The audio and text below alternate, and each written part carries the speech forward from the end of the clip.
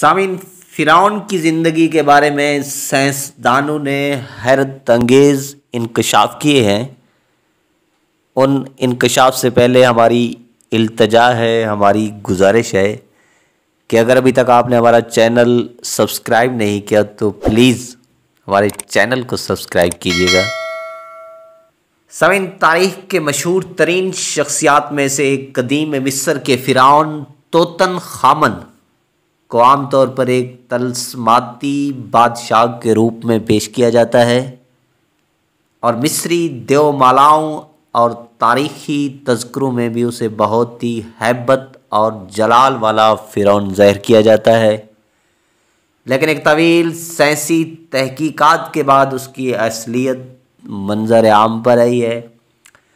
समीन माहरीन आसार कदीमा तारीख़ दानों साइंसदानों और इल्म बशरहात महरीन ने मिलकर एक तवील तहकीक की। उन्होंने मिस्री शहर गीज़ा में, फ़िरौन के मकबरों के शहर में मौजूद तोतन खामद के ढांचे, यानी कि फ़िरौन के ढांचे और बाक़ियात पर जदीद टेक्नोलॉजी की मदद से तहकीक की और ताकतवर कंप्यूटरों से बनाए गए दो हज़ार जिस्मानी नाकूश की मदद से उसके जिस्म और खंद खाल की तस्वीर तैयार कर ली। हकैक से पर्दा उठा तो मालूम हुआ कि ये फ़िरौन कदरे जनाना जिस्म का मालिक था।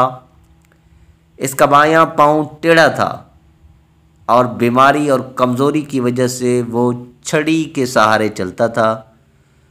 फ़िरौन के वालिद अखनतून और वालदा के डीएनए नमूनों के तजिए से ये भी मालूम हुआ है कि इसके वालदेन आपस में बहन भाई थे और उनके शर्मनाक ताल्लुक़ से उसकी पैदाइश हुई थी।